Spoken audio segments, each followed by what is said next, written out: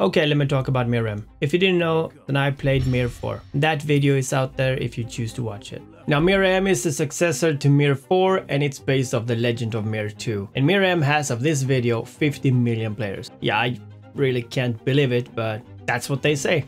And yes, it's a crypto MMO RPG game. And pretty much you can make real money playing Mir 4 and this, Mir M, is the same thing.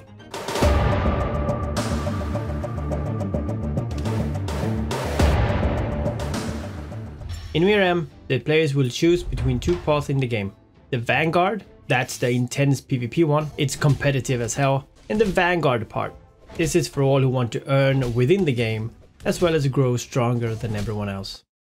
There are three classes, Warriors, uh, Less Warrior, and Sorcerer. It's unfortunately gender locked and no character customization. What the hell? What year are we in now again? 1986 or something? The graphics for me is a bit bland, but it's sharp. It does look good even though the colors kinda mash together, but still don't. Which is fine honestly. I changed my mind, this is really nice. It gives a feeling for the RPG games. Man, this is not too bad. And there's no zoom function. Look at this mount. Oh my god, that's so cute. You get the skill systems and attacks does feel like hard hitting. The attacks actually feel solid. I do really like that. When you first start off, you will feel that this game is a bit slow, you know, gameplay wise. But that also gives you a feeling of the time that you spend. It's not like these mobile games when you are level 100 before you created your character. So is this game pay to win? yeah. It's a cryptocurrency game, so people will invest money into this and it does not shy away from pay to win. When you hit level 10 you will get your first offer, pretty much like Diablo Immortal. You can leave it, you can buy it, it's all up to you. Some people of course invest heavily into games like this for climbing ranks and here they will either do that or they will just get it to get some cheaper coins. Because if the game turns out to be successful like Mir 4 was or is, then coin prices will rise in time. But you're not playing this to win are you? No, we're playing this game to make money. So how do you do that? Well, pretty much you mine in-game. Just like other games with mining and herbalism, you mine ore in this game, you smelt it to bars and bars can be turned into crypto coins. And this game also have a few ways to increase mining yield as well as other different boosts.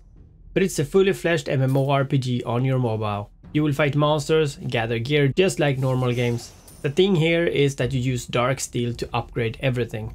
Well, almost. And that is why Dark Steel has value and that is what you mine. So except pay to win, you can buy mounts, you can buy transmogs and outfits. And all those have different bonuses, attack speed, mining and more. And I have to say that the game does feel a bit laggy. I assume it's because it's just released and it will probably not be this in the future. And just like Lineage Revolution and all those games, this game also need buffs. So buffs is very, very huge in this game. So be sure to stack up when you're farming for stuff. Playing this game you have a lot of stuff to do. You gear up your character, you gear up your mount, you got crafting, you got various stuff to improve everything that you do. Realms, for example, is places where you get a lot of EXP and materials and even gears. It's almost like big dungeons or elite areas where you set your character to farm for 25 minutes to 8 hours, whatever you like. Rumble is the PvP areas, bosses are bosses. Party dungeons, this is more like a traditional dungeon. Then you get the mandala, this is pretty much a big skill tree or a bonus tree where you pick what you feel you would like to have in terms of bonuses. The clans, no need to explain that. Codex is a big list where you can place items that you don't need in order to fill out special bonuses. Achievements, this is also bonuses you get for achieving different tasks within the game. So do not forget to subscribe to Achieved of course, that's right. You get titles to collect and ranking are of course in this game. Now the store or the shop here is pretty extensive. You can buy pretty much anything to keep farming or growing within the game. The game revolves around two tokens or coins called drones or dogma. Drone here is the base token of the game.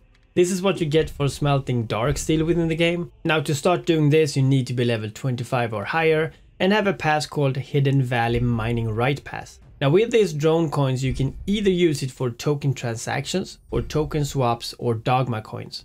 Basically you sell it for real money or you trade it within other games from WeMix or pretty much buy your way into bosses and other areas in this game.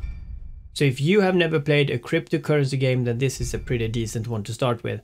try it out and see if you like it.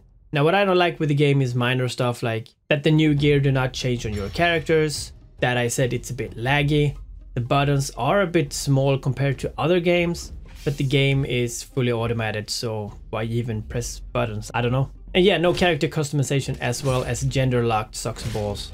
But I guess that is just nitpicking. So hit that like and subscribe if you want more updates on games in the future and I see you guys again.